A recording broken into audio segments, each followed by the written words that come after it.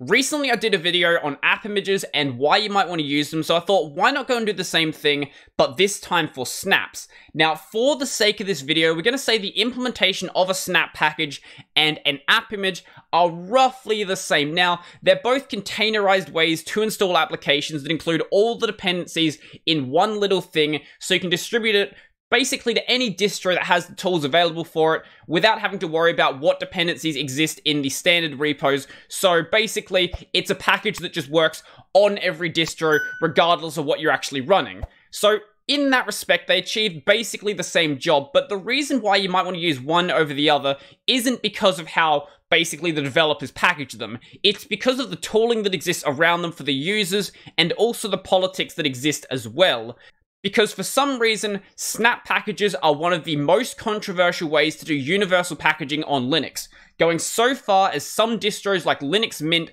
simply just dropping support for them altogether, but I'll talk more about that towards the end of the video.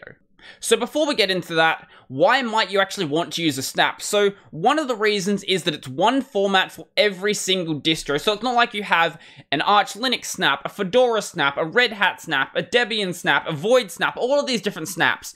It's just one snap package for every single distro that has the tooling to actually run snaps. Now this is very similar to the way that an app image works, but unlike an app image where you just need a working Fuse installation, with a snap you actually need some extra snap tools to run them, but the idea still holds where you only have this one package for every single distro where the tooling exists.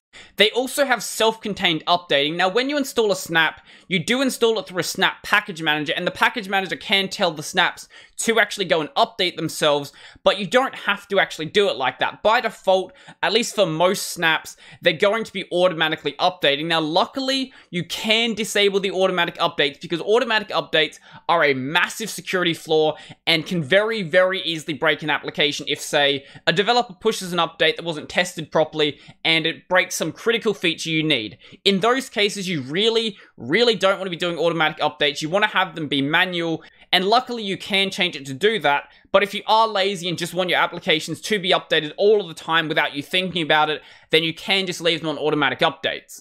And because these are bundled applications, they don't rely on system libraries, so this means I can run the application on a distro that doesn't have the absolute latest updates, or just generally on a distro that is behind what the latest on Linux actually is. So for example, let's say I make an application with Arch Linux in mind. So Arch Linux is obviously running a newer kernel than what you find even on the latest version of Ubuntu.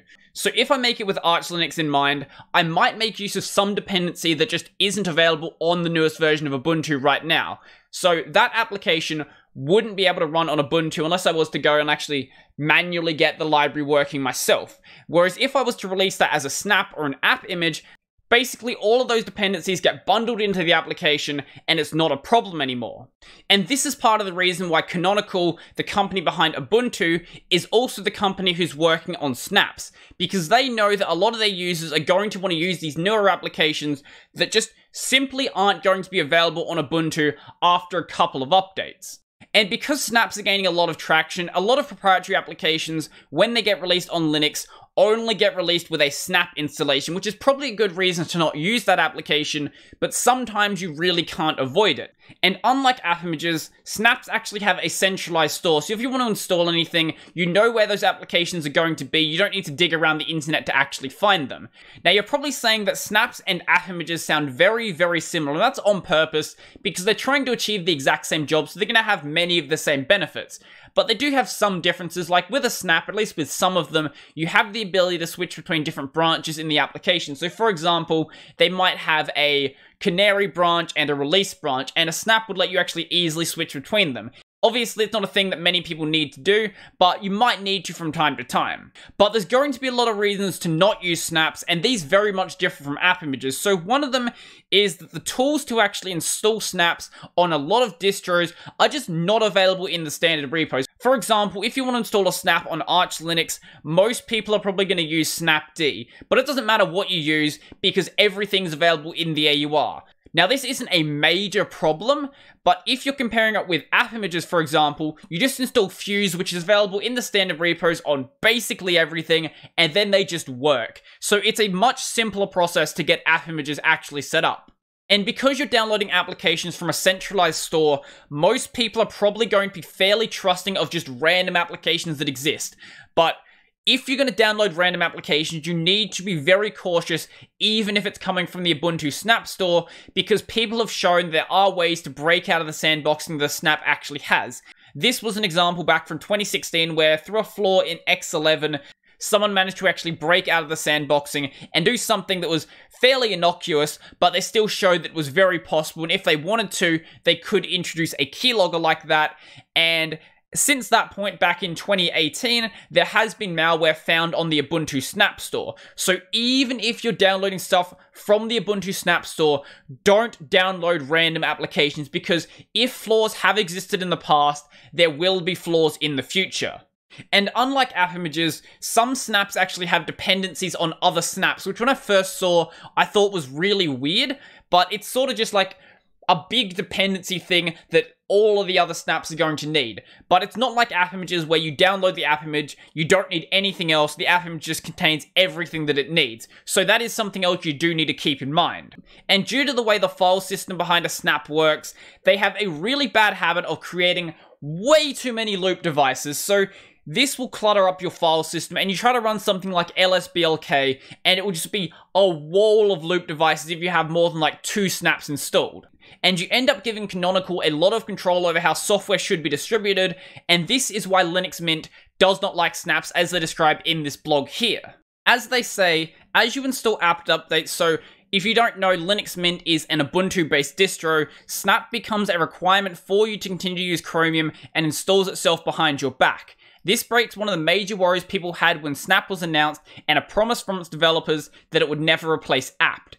A self-installing Snap Store which overwrites part of our apt package base is a complete no-no. It's something we have to stop and it could mean the end of Chromium updates and access to the Snap Store in Linux Mint. And this was from last year before anything had actually gone really bad and then a year later, in Ubuntu 2004, the Chromium package is indeed empty and acting without your consent, basically as a backdoor to the Ubuntu store. Now, I don't know if that's a fair assessment, but that's the way they want to describe it themselves. So these applications cannot be patched or pinned, you can't audit them, hold them, modify them, or even point Snap to a different store. You have as much empowerment with this as you have when you're using proprietary software, i.e. none. This is in effect similar to a commercial proprietary solution, but with two major differences. It runs as root, and it installs itself without asking you. So that's the reason why Mint doesn't like them, and I think that's a fairly fair assessment from someone running an Ubuntu-based distro. Now, whether you want to run snaps or not is going to be entirely up to you. Personally, I cannot stand them, and it's for just one of the reasons. Just one of them. It's because of the loopback devices. It makes managing your file system a massive pain. I don't know why the loop devices need to be there. Just use something else that doesn't ruin my file system. Like, you know, Fuse, like app images do. That's why I use app images when I need to use something that I need to install that can't be installed through my package manager or through the AUR. Generally though, most of the stuff that I want to install can be installed through one of those package repositories.